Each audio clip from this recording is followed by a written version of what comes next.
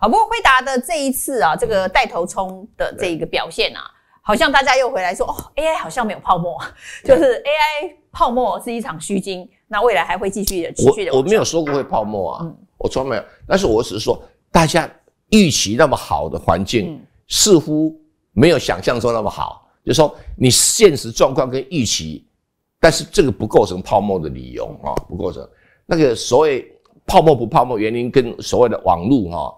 泡沫化不太一样，因为网络泡沫就是三两个人，那么就凑个一个什么网络公司，就设计个 A P P，哇，这一大堆人，然后准备要上市啊，到处吹牛啊，对不对？你说不泡沫才怪，你问他，那你收入怎么来？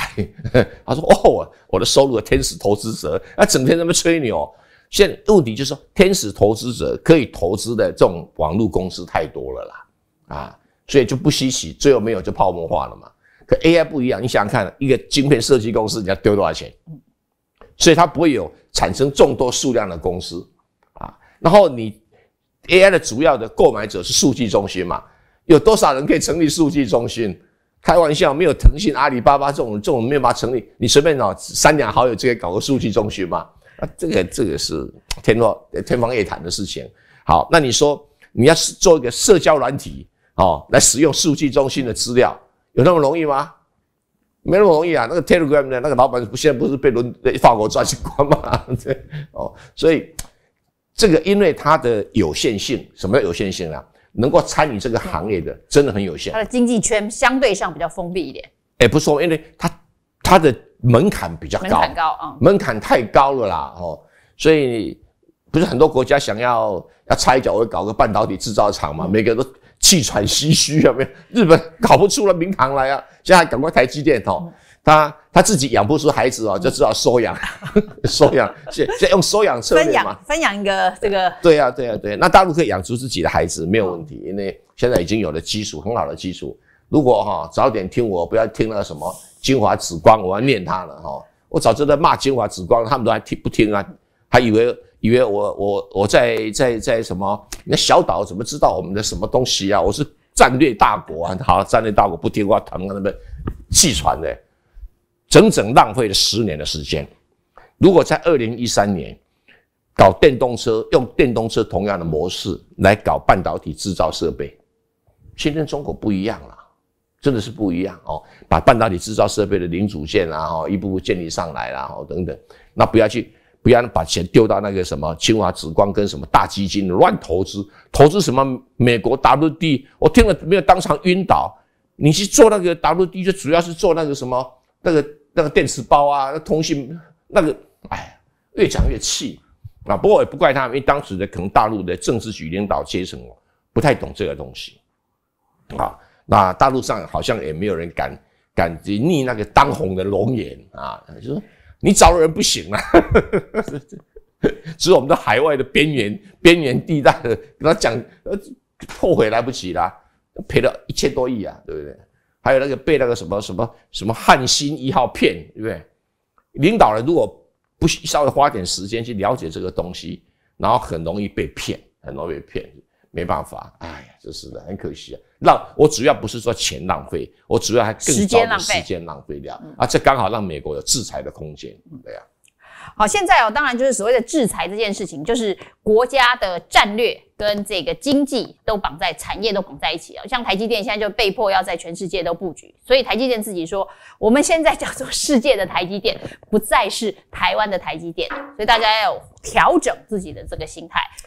哎，这句话是没错的啦，哦，没错的，因为台积电已经大到了，呃，是一个必须往外发展。它有两个往外发展的很重要的理由哈。第一个就是台海的问题无法解决，随时都有战争的风险。这战争的风险是他的客户感觉到的。哎，老魏啊，万一发生战争，你能供货吗？啊，如果你不能供货，我现在去培养三星好了，啊，啊，你不要生气啊，那你看着吧。反正我现在有日本厂，我有德国厂，还有美国厂。哎，就是用这种解决方案啊，所以本来台积电因为台海战争的压力，所以就变成是世界的台积电。那谁把台积电逼走了？就是因为台海战争。为什么台海战争就台湾的统独问题无法解决？那台湾统独问题无法解决是什么？因为我们连续想的选出两任的台独总统，所以让人家预告台湾要搞台独啊，那预告的北京不会手软，那所以预告的台积电会被美国给炸毁。美国公开讲了，只要台海战争，我第一个先炸毁台积电呢。那你说其他的客户，比如高通啊，下单给他，哎，老魏啊，我我什么时候停止下单？不就是这个很清楚了吧，对不对？搞不好 NVIDIA 还问他说，哎，老魏啊，你你你确定哈，高端的要全部在台湾吗？对，所以它一定要转型成世界的台积电，它才能生存。换句话说，台湾可能会因为台独而灭亡，但台积电要跑到海外去建立世基电啊。好，这个当然话题已经是。这个国际级的、全球级的，那所以贺锦丽跟川普在辩论会上面也谈到了美中台这个晶片相关的这个议题哦。那川普呢就直接说，这个大陆中国大陆的晶片是跟台湾买的，不是跟这个美国买的，所以呢这个要科技制裁。它的意思就是说台湾要科技制裁中国大陆吗？也不是，我觉得大家都搞混了一件事情。我们台湾哪一款晶片是自己设计，在全世界卖的下下叫的？